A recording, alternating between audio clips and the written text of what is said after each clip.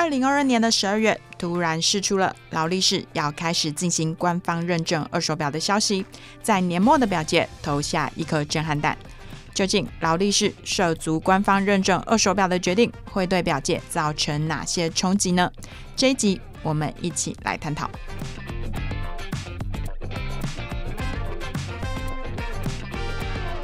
在表界，劳力士并非是第一个投入官方认证二手表的牌子。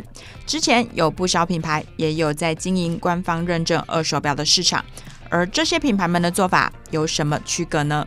我想得到，在江江诗丹顿了。江诗丹顿应该是比较是古董表，因为我们现在看到他的作品，但大概都是五十年以上的。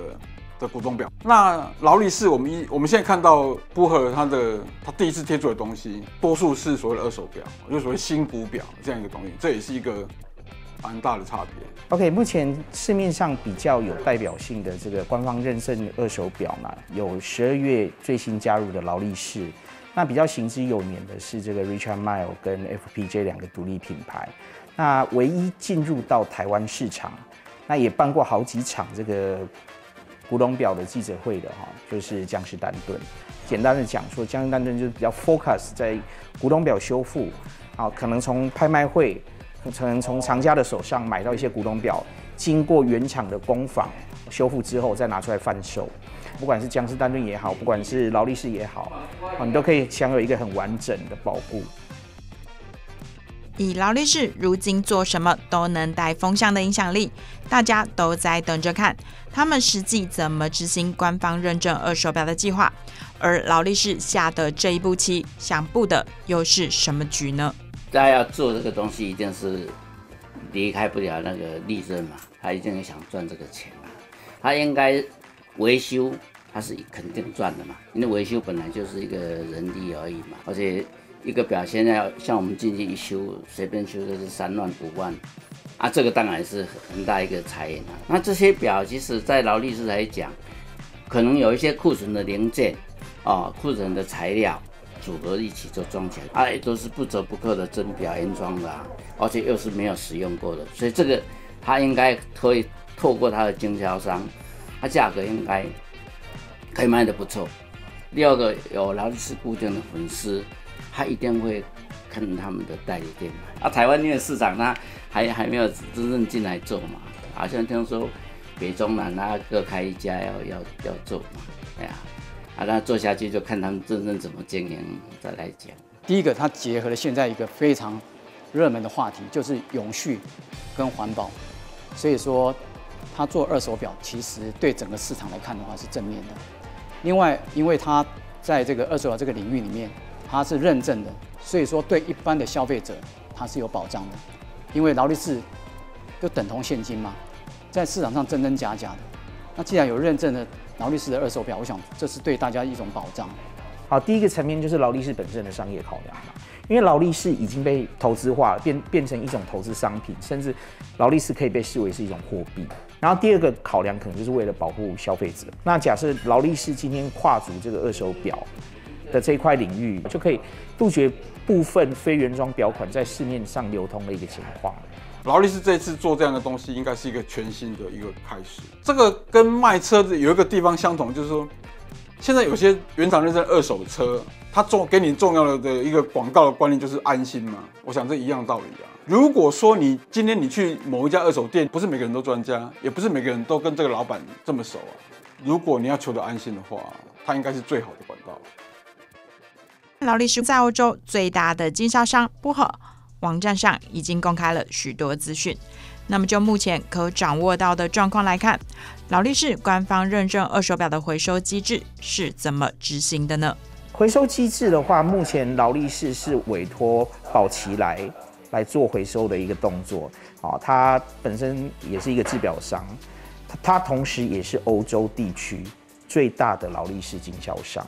消费者必须把手表拿去给宝奇来，他们有专业的制表师来评估你的表框，然后他大概检查之后会给你一个估价的一个估值，那消费者可以决定要不要把这个表卖回给宝奇来。第一个就是说，如果价格你满意的话，你直接可能就是以回收价你拿了现金就走了嘛。然后第二个选项就是可以用这个表的残值去换购店里面其他的新表。因为劳力士的习惯是，他如果还没开始做，他不会先讲。但我我我只能说我自己去揣测了哈。做这个回收，做这个二手表的买卖，我相信它最大的后盾在于 RSC 啦，就是劳力士官方的服务中心嘛。所以我我猜测就是说，你把表拿回去要卖，他一定会先送 RSC 去鉴定，先第一步先鉴定真伪啦。第二步可能会看你的损坏状况嘛，需要保养，需要维修。如果他愿意收的话，他一定会帮你整理到好。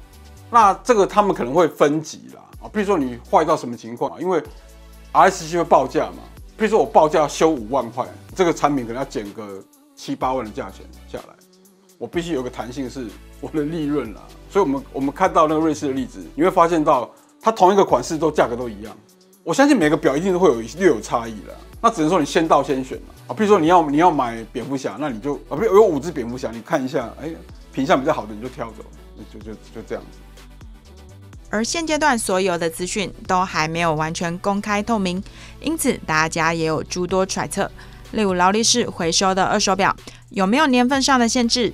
年代久远的古董表也在他们愿意认证的范围吗？那劳力士，我想他也太老的东西，他也不会去碰，因为太老的第一个他没资料，不像 PP，他说我以前从你看一百多年前每一笔资料每一个表他都有记录很清楚。啊，劳力士以前他是。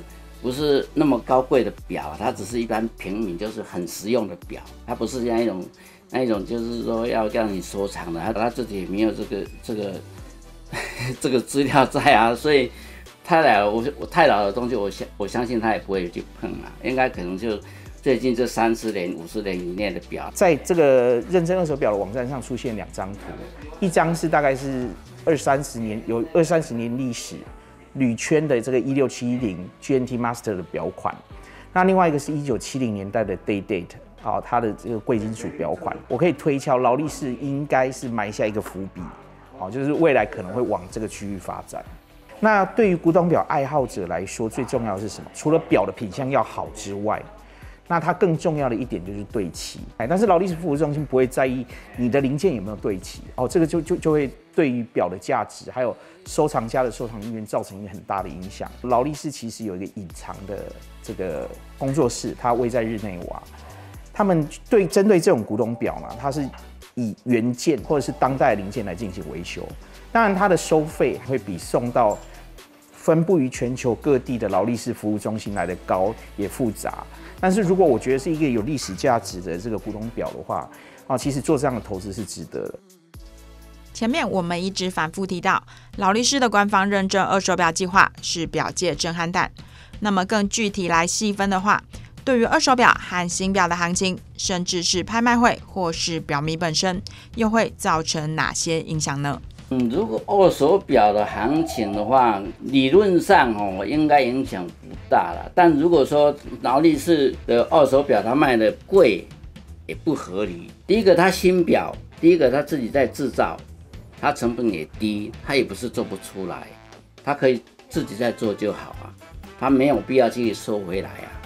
就是用最简单的黑水鬼，定价三十几万啊，要你不要去抄价啊，偏偏你二手表的市场就已经比那个价格要高啊。讲是讲不能抄价，但事实上他们私底下人都没有那么乖啊，都是大家都是抄价在卖啊，对不对？我买新的才 才三十几万而已啊，要买二手的要四十万，那。不合理啊！那那要怎么？这可能只是暂时性的，可能就是啊，我的新表现在没有货源，哦，暂时这个材料供应不及，还是我的生产来不及啊？这个二手还可以塞一下这个市场。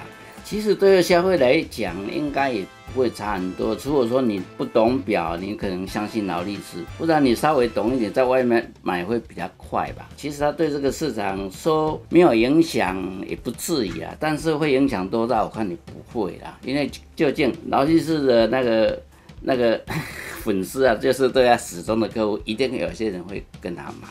但是外面还是有一些比较属于行家玩玩久了。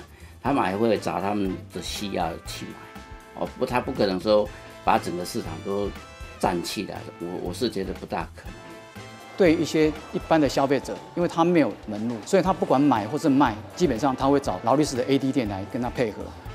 但是对我一些玩家、资深的玩家或者藏家来看的话，其实他们有自己的管道，可能是拍卖会啦，可能是其他的管道。那因为认证的二手表，通常它价位会稍微偏高一点。那这些厂家其实都是很精的，所以他们有应该有他们的管道，两者其实是不会冲突的。如果劳力士未来跨足古董表市场的话，它又能把古董表以当代的工法或者是当代的零件修复，可能就会对古董表的市场有所影响。好，因为目前它是局限在欧洲六国嘛，那欧洲欧洲国家劳力士的这个二手价格本来就比较高，所以它可能比当地的二手表商贵不了多少，可能贵个十几二十趴。那如果引进台湾的话，它还是依照这个现在的定价模式，我觉得影响就不大。那我可以举一个一六七零 BLNR，它是 GNT Master Two 的黑蓝圈，它是最近两三年才停产的。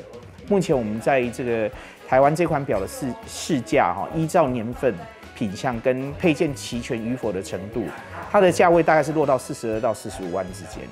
可是我呃之前有上宝奇来网站看，它的标价是两万一千瑞郎。劳力士未来也把它引进台湾，然后委托我们本地的这个经销商来进行销售的话，它价格如果还是定的这么高，那消费者就不见得会去选择劳力士的认证二手表。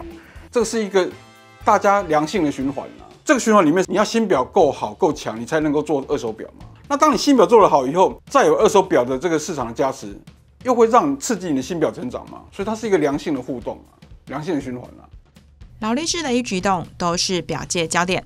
在把官方认证二手表视为重点计划之后，对于表界来说会造成哪些后续效应？